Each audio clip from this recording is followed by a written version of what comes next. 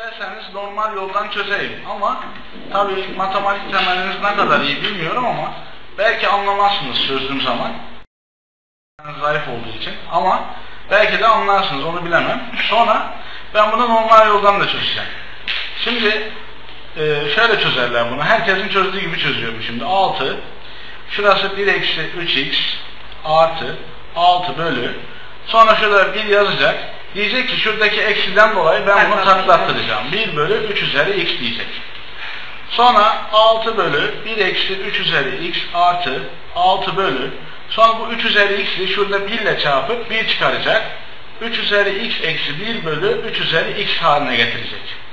Sonra buradaki 3 üzeri x buraya çarpım olarak gidecek. 6 bölü 1 eksi 3 üzeri x artı 6 çarpı 3 üzeri x bölü 3 üzeri x eksi 1 olacak. Tamam mı? Anlıyor musunuz? Anlıyorsun. Neyse bunları birleştireceğiz. Cart curt ya bırak Allah Allah. Çözdürtmeyin bana böyle. Şimdi sen buraya bakıyorsun 3 üzeri x. Şuraya bakıyorsun 3 üzeri eksi x. Doğru mu? Evet. Buradaki üçler önemli değil. İşaretler zıt mı kardeşim? Evet. Zıt. Hocam her zaman zıt mı verir buradaki işaretleri? Evet. O zaman buradaki sayıyı görüyor musun? 6. Evet. Buradaki sayıyı görüyor musun? 1. 6'yı 1'e böl. Altı. 6. Bu kadar. Tamam mı?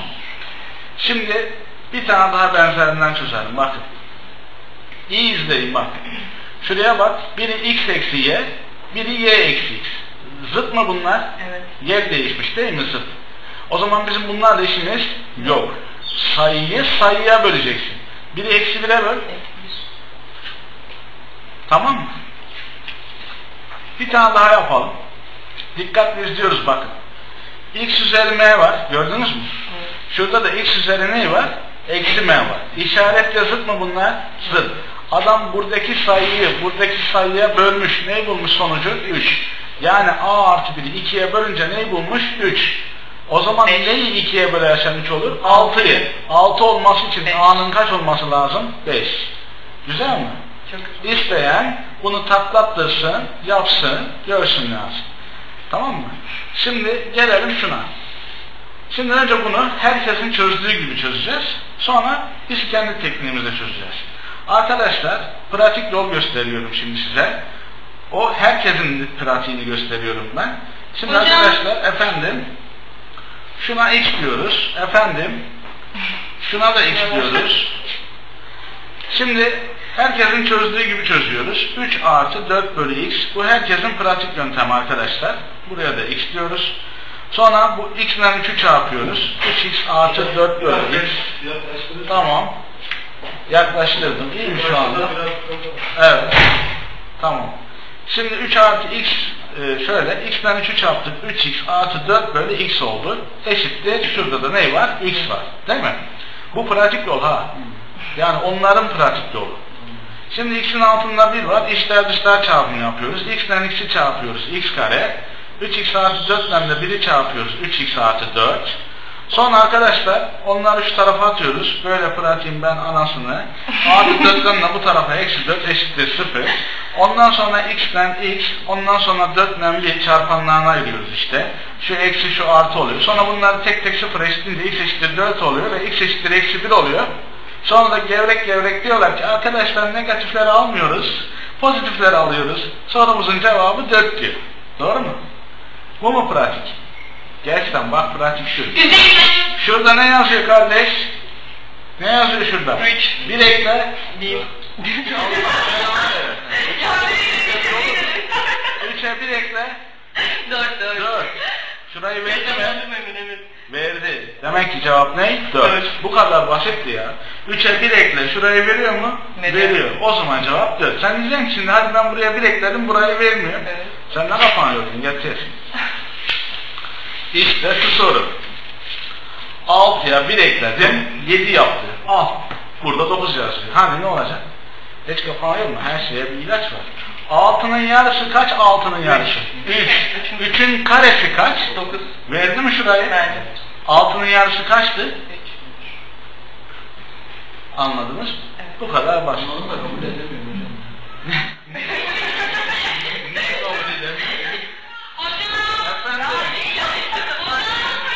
Efendim. Burada olmamış.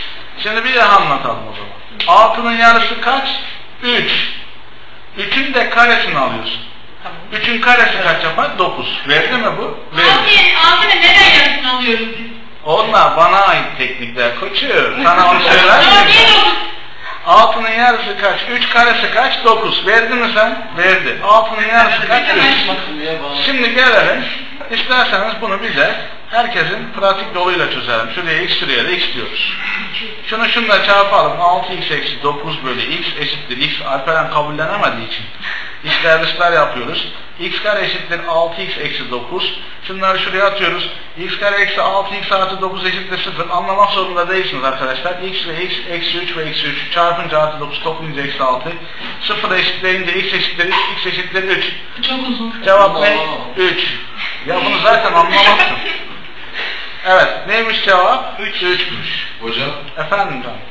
e, bu sayılar eşleşmişken bu nasıl geldiğini aktar olur mu acaba ya? Altının yarısı 3 dedik ya. Evet, altının yarısını alıyoruz. 3 yaptı. 3'ün de karesini alıyoruz. 9 yaptı. Şurayı verir mi? Verir. Altının yarısı 3. Hocam niye? Ben ondan. Oranın teknik kısmı bana ait. Bana bana. Onu söyleyemem. Şimdi bir örnek daha yapalım. Bak mesela 4 eksi 4 bölü 4 eksi 4 bölü 4 eksi 4 bölü gidiyor değil mi? 4'ün yarısı kaç? İki. 2'nin karesi kaç? Dört. Verdi mi şurayı? Verdi. 4'ün yarısı kaçtı? İki. Demek ki cevap neymiş? 2'ymiş. Anlaştık? Hocam şimdi eğer ondaki dokuzu vermiyorsa biz yarısını mı alıyoruz? Zaten bak bu sorular arkadaşlar bunun yarısının karesi. Hocam diyorlar ki ben Vermiyorsa bakın şıklarda şöyle bir işaret var. Bak şöyle işaret var şıklarda. Bu işaret ne biliyor musun sen? Boş. Boş küme. Yani ya soruyu böyle soracaklar ya da az önceki gibi. Neyse şuna geçelim. Şimdi bakın şu soruya. Bunu herkes nasıl yapar? Nasıl yaparsınız? Düşüklüğünüz var mı? Uzun uzun çözmeyelim. Şimdi bak. Sen- Tamam hocam 2005 hatırım. Bak şimdi şunu yapacağız. Üstlere bakıyoruz. Üstte en küçük olan kaç? 2004. 2004 değil mi? Bak Alper, 2004'ü sıfır kabul ediyoruz. 2004 sıfır olursa 2005 kaç olur? 1 olur. 2006 kaç olur? 2 olur. 2006 2. Yazalım. 2'nin ikisi, 2'nin biri, 3 bölü 2'den 2'nin 1. ikisi, 2'nin sıfırı. Doğru mu? 2'nin karesi 4, 2 daha kaç eder? 6. 2'nin karesi 4. Dört. Şimdi 2'nin sıfırına 2 Bir. diyenler de çıkar. Bir. Ben onun 1 olduğunu söyleyeyim. 6 bölü 3'ten sonuç ne çıkar? 2. Bunları da böyle yapacağız. Yine mi siz verdiniz değeri? Evet. Şimdi 2004'ü en küçük olanı ne kabul ediyormuşuz? 0. Ondan sonra da büyüdükçe değer veriyoruz. Evet arkadaşlar heyecanlanmayın. Sakin sakin dinleyin. Evet. Sakin olun. Evet, sakinleşin. Bir derin nefes alıp verin bakayım. Heh. Şimdi geldik şuna. Bak şimdi bu soru da gıcık bir soru. Bunları da şöyle yapıyoruz. Bak. Üstün en küçük olanı hangisi? Şunlardan en küçük olanı hangisi? 1 bölü 14. 1 bölü 12. Ha yukarı. Üstün diyor. Tamam. Üstlerde en küçük olan burada 12. 1 bölü 12. Araya eksi koyacağız. Aşağıda en küçük olan kaç? 1 bölü 24. Her zaman üstün en küçüğüyle altın en küçüğünü alacaksınız taktik olarak. 1 bölü 12'den 1 bölü 24'ü çıkartacağız. Şimdi payda eşitleyeceğiz. 2'den 1 çıktı. 1 bölü 24. 1 bölü 24 aha burada. Tamam mı? Anlaştık mı? Neden her ikisini aldık hocam? Hocam kim konuşuyorsunuz? Ben anlatamıyorum bunları ya. Ben bunu öğreteceğim. Siz anlatın. Devam edin. Meslek istedi kardeş. Evet sen git normal çöz. Evet şuna bakıyoruz şimdi. kopuyor yalnız. Şimdi bak kardeş. X'i Y'ye böl demiş. Yani şunu şuna böl demiş. Yani şöyle böldüğümüzde demek ki sorunun aynısı olmuyor mu bu? Evet. Üstün en küçüğü kaç? 12. Çok güzel, çok zekice. Altın en küçüğü 12. kaç? 15. Harika. 12'den 15 çıktı. Kaç kalır? Onu da çağırırsan çok iyi. Ya hocam. O da cevap Adana. Tamam mı? Hocam. Yıllardan beri hep Evet. 12'den 15 çıktı. Eksi 3. Tamam. Yoruldunuz mu? Yok. Evet. Şimdi bunu çözeceğiz. Üstün en küçüğü kaç? Çok güzel. 11'in ikisi. Altın en küçüğü kaç? 22'nin ikisi. Buraya kadar anladınız mı? Bunu ben şöyle yazsam doğru mu olur, yanlış mı olur? Doğru olur. Harika. Peki ben bundan bunu sadeleştirsem 1 Bir bölü bölü 2 iki yap. doğru mu olur, yanlış mı olur. Peki 1 bölü 2'nin karesi 1 bölü 4 doğru mu olur, yanlış mı olur? Ne güzel olur. Şimdi siz diyorsunuz hocam şunlar nereye gitti? Ya boş ver nereye giderse gitsin. Üstünden küçüğü altından küçüğü. Boş yazmışım. Tabi ileride şimdi ben size ders anlatırken e, normalde konuyu dört dörtlük anlatacağım, öğreteceğim, normal soruları çözeceğim. Bunları normal de çözeceğim, pratik olarak da göstereceğim. Pratiğin şeyini de ver, versen. Buradaki pratikler benim vazgeçtiğim pratikler yani. Derste göstereceğim pratikler daha farklı. Bunlardan vazgeçtim yani. Hocam şey Evet. normal dersler? Normal derslere mi ortam? Ee, Eylül gibi başlayacağız. Şimdi şuraya bakıyoruz. Bak şu sorular benim nefret ettiğim bir soru tipi mesela. Öğrencinin de nefret ettiği bir soru tipi. Görüyorsun değil mi? Şuradaki x'i görüyor musun? O x'e var ya. Değer ver bakayım kafandan bir. Sıfır ver. Evet çok güzel. Hemen sıfırı verdi arkadaşım. Bir versek olur mu? Olur. Olur. İki versek olur mu? Olur. Yüz versek olur mu? Olur. Çok yüz verme şımarır. Altının karesi olur. Sıfır verdik ya sıfır iki daha sıfır. İkinin sıfırı, üçün biri. Doğru mu? Altının karesi kaç yapar? 36. 2'nin sıfırı zaten bir, şurası kaç? 3. 36 3'e böl. 12. Tamam mı? İstediğin değeri ver. Tatmin olmadın mı? İstersen başka değer verelim işte. Sen şüphelendin dur. Bir verelim sana. Bir verelim bak. Bir. Al bir verelim ha. Altının ne oldu? Küpü oldu. Biraz sıkıntı başlayacak. İkinin biri de iki oldu. Üçün karesi de dokuz oldu. Tamam mı? Altının küpünü şöyle yazayım. 6 çarpı 6 çarpı 6 çarpı. Hani sadeleştirme kolay olsun diye. Şundan şu gider. 3. 3'e böl 1. 3'e böl 3. Aman yarabbi. 6 kere 6 36. 3'e böl. Aha 12. Allah Allah. Her yerden 12 çıkıyor. Fark etmez yani. Okey. Aha da geldik şu soruya. Bak bunlar da şimdi matematik kurallarını alt üst edeceğiz şimdi. 550 neye eşitmiş bakın? 8'e. 2'nin küpü değil mi o? 5 üzeri y neye eşitmiş? 32. O da 2'nin 5'i değil mi? Şimdi matematik kurallarını alt üst edeceğiz bak şimdi. X gördüğün yere 3 yazacaksın, Y gördüğün yere 5 yazacaksın. Bu kadar. X gördüğün yere 3 yazacaksın, Y gördüğün yere 5 yazacaksın. 5 kere 3, 15. 3 kere 5, 15. 2 kere 5, 10. 30 bölü 10, 3. Tamam mı? Böyle bir şey yok matematikte. Tabanlar eşitse üstler eşitlenir. Ama biz eşitliyoruz. Şimdi burada birazcık ufaktan bir sıra açıklayayım size. Burada neden eşitledik hocam? İkili denklemlerde ikili denklemlerde üstleri eşitleyebilirsin. Kopma yani. İkili denklemlerde üstleri eşitleyebilirsin. Tamam mı? Anlaşıldı mı? Çözdük bitti yani. Oldu mu? İkili denklem yani. Şimdi geldik şuna. Bunu önce normal yani onların pratik Herkes yoluyla yapmayın. çözelim. Hayır. Onların pratik yoluyla çözelim sonra biz kendi pratiğimizle çözelim. Evet şimdi hocalarımızın çözmüş olduğu pratik yoldan çözüyoruz. Şimdi biz de pip pratik yapacağız. Daha böyle pratik. Şimdi şu 2000'i görüyoruz değil mi? En küçük olan. Evet. Hı. Şimdi 2000'e 2000'e arkadaşım A diyoruz. Onların pratiğiyle çözüyoruz şimdi. 2004'e ne dedim o zaman ben? Artı 2004'e A artı 4 dedim. Şuradaki 4 küçük bir sayı olduğu için ona dokunmuyoruz. Şimdi şuradan devam ediyoruz. 2000 gördüğüm yere ne yazacağım ben? A. 2004 gördüğüm yere ne yazacağım? A artı 4. Sonra da A artı 4 diyeceğim. Okey? Şimdi devam ediyoruz bakın. A ile A'yı çarparsam ne oldu arkadaşım? A kare. A ile 4'ü çarptım 4A artı 4 mü? Buraya kadar anladınız mı? Pratikmiş işte bu. Ee, şimdi bunu e, şöyle arkadaşlar e, şey yapacağız. A kare artı 4 A artı 4'ü şöyle A'ya A 2'ye 2 diye çarpanlarına ayıracağız. Çarpınca 4 yapacak, toplayınca 4 yapacak. Tamam mı? Neyse bunu da yazarken bununla bununla yazıyorum. Neyse efendim kısa lafın şeyi A artı 2'nin karesinin karekökü olacak. Sonra bu karede, karede kökü götürecek. Ne kaldı şimdi burada? A artı iki. A artı 2 kaldı değil mi? O da 2000. A neydi kardeşim? 2000'dir. Doğru mu? Evet. A'nın yerine 2000 yazarsak cevap ne çıktı? 2002 çıktı. Bu neymiş? Pratikmiş. Bakalım şimdi pratik nasıl oluyor. Şimdi sayının sonuna bakıyorsunuz. Dikkatle dinleyin. Dikkatinizi dağıtmayın. Şuradaki sayı kaç? 0. Şuradaki sayı kaç? 4. Şuradaki sayı kaç? 4. İyi izle bak şimdi. 0 ile 4'ü ne yapacaksın? Çarpacaksın. 0 kere 4, 0.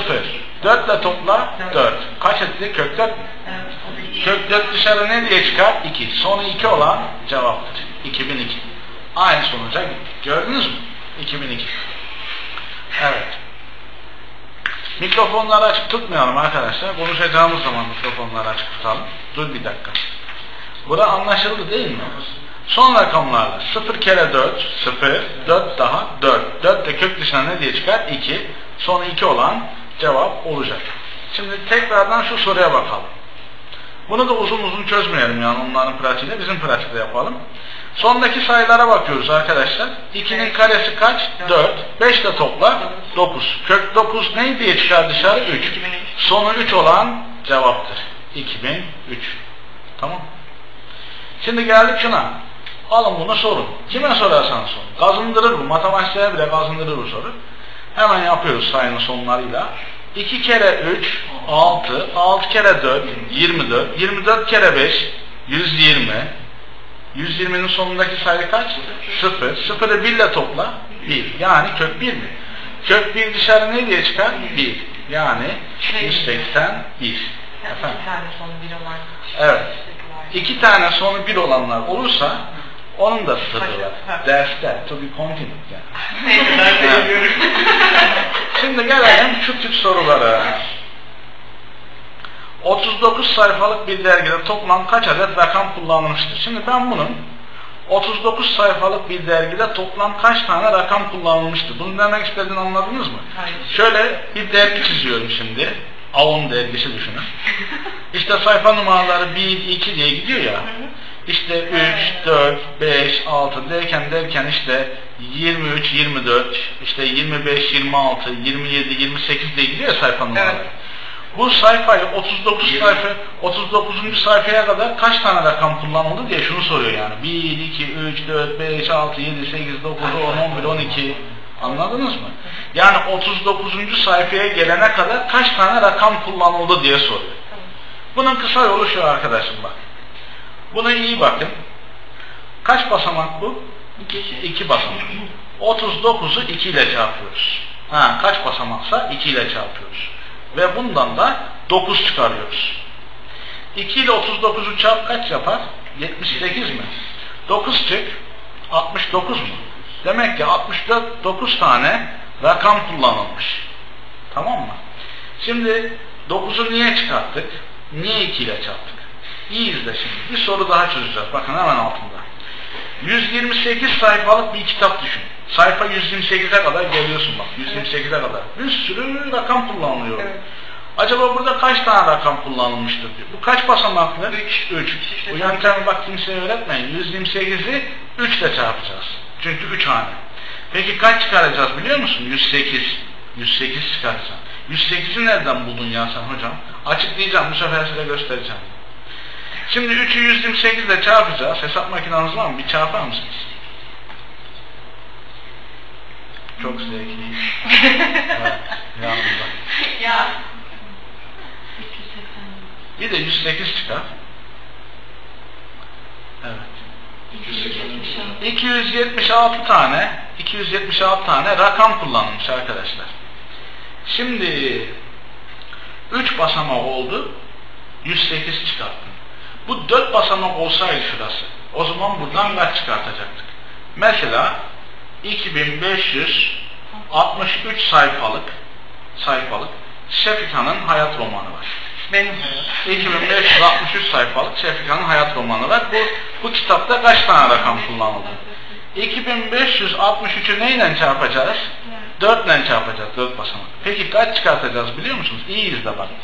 1107'yi çıkartacağız. 1107. Allah. Bunu neye göre yapıyorsun? Bunu neye göre yapıyorsun işte? Bak şimdi iyi izle. Şu kaç? 9. 9'u ayırıyorum 1 ve 8 diye ortaya 0 koyuyorum. 108 oluyor.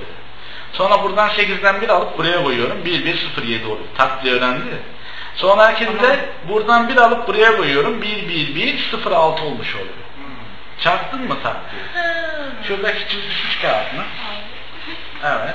Şimdi çizgisiz kağıdın üstünde bir kez daha açıklayalım arkadaşlar. Mesela kaç sayfalı bir kitap dedin sen? İki haneli. İki haneli bir kitap olduğu zaman 42 sayfalı bir kitap. Neyle çarpıyoruz? 2 ile kaç çıkartıyoruz? 9. 3 haneli bir kitap olsun. 328 sayfalı bir kitap. 3 ile çarpıp 108'i çıkartıyoruz. Sonra 4 haneli bir kitap olsun. 4526 sayfalı. 4 ile çarpıp kaç çıkartıyoruz? 1107 çıkartıyoruz. Peki 5 haneli bir sayfa. 53642 sayfalı bir kitapta kaç tane rakam kullanılmıştır dedi. Bunu 5 ile çarpıp buradan 1 çalıp şuraya koyuyoruz. 1, 1, 1, 0, 6. Sen her harikalde hesaplarsın bunu. Anladın mı? Şuradan bir çarp şu tarafa bayacaksın. Şuradan bir çarp bu tarafa bayacaksın. Bak rakamları toplamı kaç yapıyor? 9. Rakamları toplamı kaç yapıyor? 9. Rakamları toplamı kaç yapıyor? 9. Rakamları toplamı kaç yapıyor? 9. Yani ezbere gerek yok. 9. Bir sonraki kademede 1 ve 8 ortaya 0. Bir sonraki kademede 8'den 1 çalıp buraya koyuyorsun. 1, 1, 0, 7. Bir sonraki kademede 7'den 1 çalıp buraya koyuyorsun. Böyle. Öğrendin mi? Teşekkür ederim. Sen notla kalabalık ama kusura bakma. Anladık mı buraya kadar? Bunlar zor sorular. Bakın şu soru da bayağı zor. Bir kitabın diyor sayfa numaraları için 522 tane rakam kullanıldığına göre bu kitap kaç sayfalı diyor. Bu sefer tersten soruyor bak. Hı. Kitabın kaç sayfa olduğunu bilmiyoruz. Kaç Aa. sayfa diyelim? İlk sayfa. Sonucu kaç haneli bulmuş bu? Üç haneli. O zaman bunu 3 ile çarpacağız. 3 ile çarptığımızda kaç çıkartıyorduk? Ee, 108 çıkartıyorduk. İşte bunu çıkarttığımızda sonucu kaç veriyormuş? 522. 522. Anladınız mı? Anladın. Evet. Çok güzel. Sen anladın mı? Çözelim. Bunu bu tarafa atalım. 3x eşittir. 522 108 de toplayacağız. Ne? 522. Evet 108 de topla. 630. 630 mu? Sonra bunu 3'e böl. 210 mu? Demek ki kitap kaç sayfaymış? 210. 210 sayfaymış. Tamam mı? Çok. Yoruldunuz mu? Şimdi bir tane daha soru çözelim. Bak bunlar kazık sorular. 1 ile 100 aralığında bulunan bütün tam sayıların yazılabilmesi için kaç tane rakam kullanılmıştır? Bak birden başla 100'e kadar bütün sayıları yaz diyor. Kaç tane rakam kullanıldı diye soruyor. Anladın mı? Bu ne demek biliyor musunuz? Yani şunu diyor, 100. sayfaya geldiğimde kaç tane rakam kullanıldı diye soruyor. Kaçıncı sayfaya gelmiş? 100. sayfa. Kaç tane bu? 3 tane. Bunu 3 ile çarpıp kaç çıkacağız? 108 çıkacağız. O da kaç yapar? 192. Bunu normal yoldan nasıl çözüyor matematikler biliyor musunuz? Önce diyorlar ki arkadaşlar bakın diyorlar kitapları numaralandırmaya başlarsak önce birden birden başlarız 3, 4, 5, 6, 7, 8, 9'a kadar geliriz diyorlar. Bu dokuzluk paket diyorlar. 9 tane sayı burada var diyorlar. Sonra 10 diyorlar. 11, 12, 13, 14, 15, 16, 17, 18, 19 diyorlar. Sonra bunu sayıyorlar. 2, 4, 6, 8, 10, 12, 14, 16, 18, 20. Burada da 20 tane kullanılmış diyorlar. Sonraki gelende 20 tane kullanılmış. Sonraki gelende 20 tane kullanılmış derken derken yırtına yırtına bir taraftan 100'e kadar geliyor. Ondan sonra onu da topluyorlar. Tabi bu arada sen onları dinlerken pert olmaya başlıyorsun zaten. Aval aval sağa sola bakmaya başlıyor. Anladın mı? İsterseniz çözdürebilirsiniz. Tamam. Geldik şu soruya. Evet. Bunu görse öğrenci nasıl çözecek? Gıcık bir şey. Evet zor gibi gözüküyor değil mi? Arkadaşlar, arkadaşlar şuradaki 1 bölü 2'ler, 1 bölü 4'ler, 1 bölü 8'ler, 1 bölü 16'lar sizi heyecanlandırmaz. Bizim onlarla işimiz yok. Böyle bir seriyi gördünüz mü? Şura 5, şura 1. 5'ten 1 çıktı.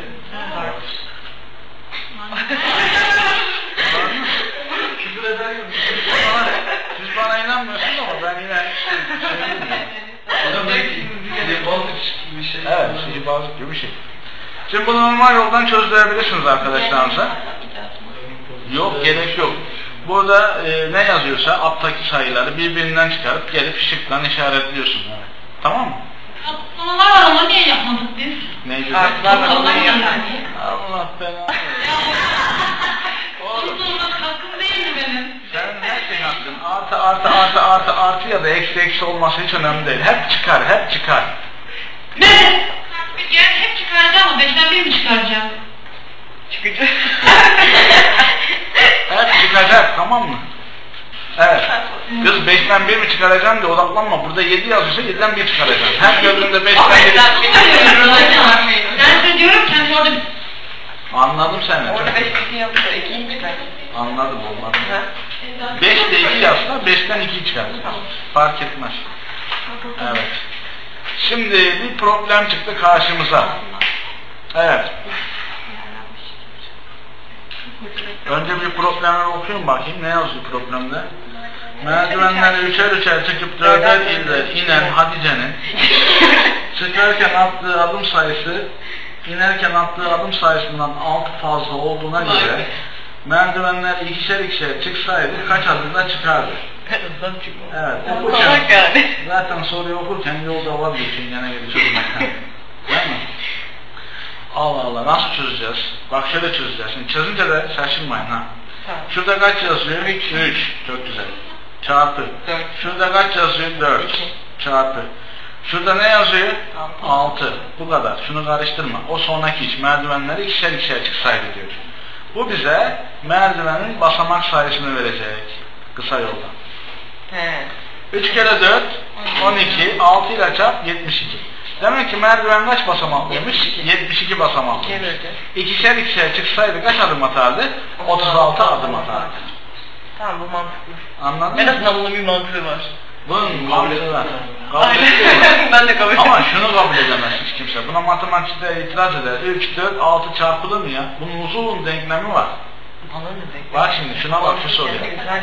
Bir merdivenin diyor basamaklarını ikişer ikişer çıkıp üçer üçer inen bir kişinin çıkarken attığı adım sayısı inerken attığı adım sayısından 7 fazladır. Buna göre merdiven kaç basamaklıdır? Bunun uzun uzun denklemi var. Bizim taktik şu. Burada ne yazıyor? 2. Burada ne yazıyor? 3. 2 kere 3 6. 7 fazla. 6 kere 7 42. Burada az da dese çarpacaksın. Çok da dese çarpacaksın. Tamam mı?